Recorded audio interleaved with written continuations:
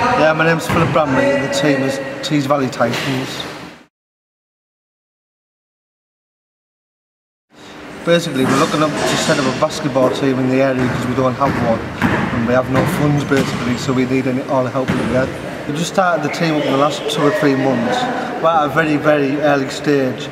We did have originally a Teesside team about 10 years ago, but unfortunately, for whatever reason, members decided to go off and do their own thing and we're looking to bring back the sport to the area and hopefully produce another Terry Bywater, Lee Force or Terry Thompson and hopefully get, give these guys something to look forward to as well.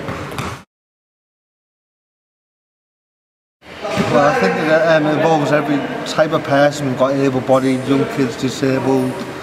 One of the lads is an ex-army person. We've got Paralympic, Paralympians, sorry, involved. So I think it, offers a wide range of people to get involved in the sport.